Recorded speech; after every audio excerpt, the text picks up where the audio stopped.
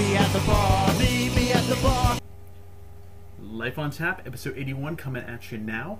Uh, thank you to all you returning uh, listeners slash watchers out there, and, and a great welcome to all you new ones out there. Uh, hope you guys enjoyed the great uh, Montreal nightlife recap we had, uh, featuring uh, T-Bone Sullivan, aka Dave, and the one, the only Scotty J.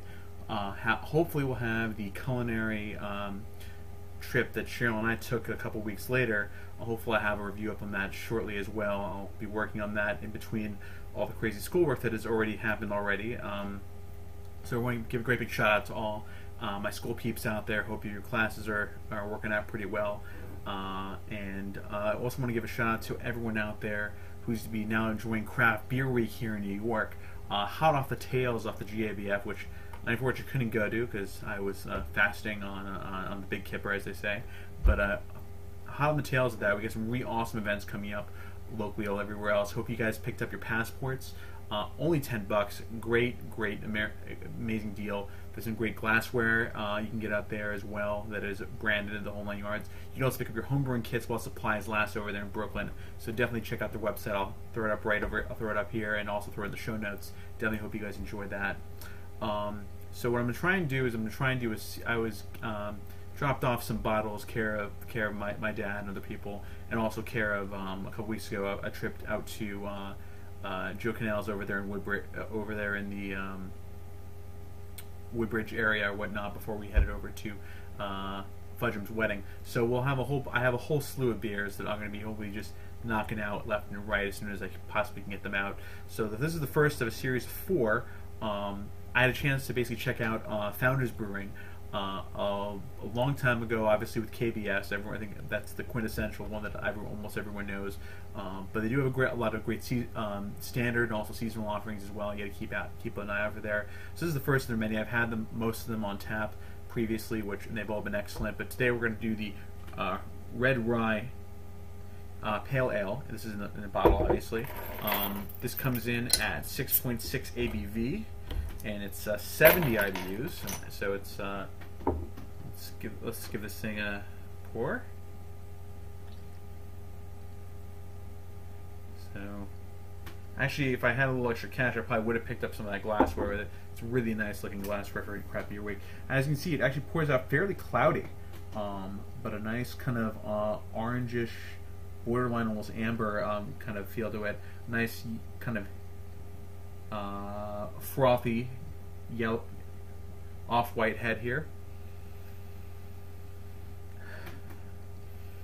There's this gorgeous kind of malt flavor. It comes up with a little bit of kind of a, uh, citrus kind of grapefruity back note on here. It's it's a, it's it's a, it's a really there's a little bit of spice in it too, kind of um, off of it as well. I remember uh, reading about this. There's that they use uh, Belgian caramel malts in here, so that so I'm probably that's where this kind of the sweetiness, the sweet heartiness is coming from. This this richness comes from it. So let's give things a shot.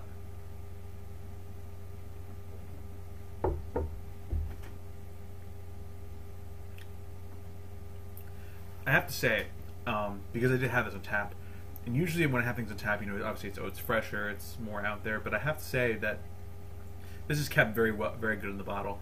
Um, this specific bottle, all things considered, so I'm very happy about that. Um, you do get obviously um, it comes off right up front the rich malt sweetness, and then kind of trails off to the back to reveal that um, that dry hop finish, and it's kind of mixed. It's kind of a little bit of hop, a little bit of rye. It kind of all mixes in there. It's got a great it's got a great balance to it.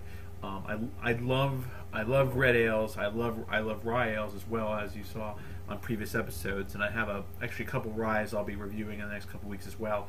Um, and so I hope you know if you can if you can get founders, you know whatever you can get out there, definitely give them a shot. Um, I have a couple more coming up in the next couple episodes, so we'll hope you uh, get a chance to check those out as well. Or if you can, go even better, go out to craft beer right here in New York and go out to your favorite places and you know ch- check check them all out.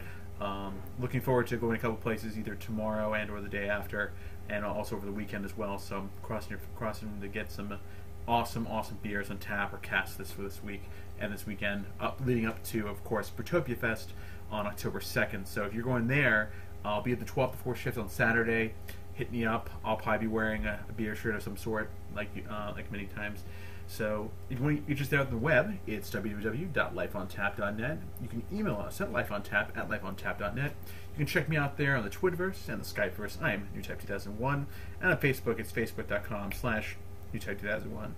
And um, also, leading up, every you know, it's we're coming up basically uh, a little over a month, a month and change away from the Beer Bloggers Conference. So, uh, you know, I'm definitely anxiously awaiting that. It's gonna be a lot of fun a lot of uh, great announcements coming out from there, a lot of great promotion. So um, getting pumped up for that as well. But for the moment, you know, go out there, enjoy craft beer week, go with your friends, go with your family, go with whoever you want to go with, because you just got to live it up while you can. Because remember, life's a tap. Drink up till it's dry.